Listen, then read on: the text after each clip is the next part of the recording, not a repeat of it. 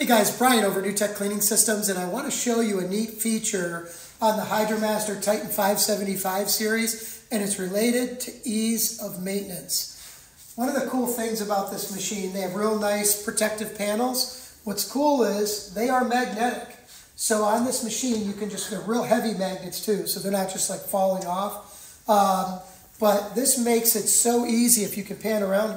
You can see your oil filter, if we have to get to an alternator or belts or any of these different things, work on any of the front serviceable fittings. Everything is right here, same as on the other side. These magnetic panels make it super, super easy to service and makes your life easier. Watch, click and like our channel uh, for more of these videos that will help you understand the different ease of operation and servicing that you can do on this different equipment that we uh, sell to you guys across the nation. Um, if you have any questions, you can always reach us, 248-548-5211. I'm on an earpiece all day long doing technical support. I'm happy to do it for you. Um, thanks for watching.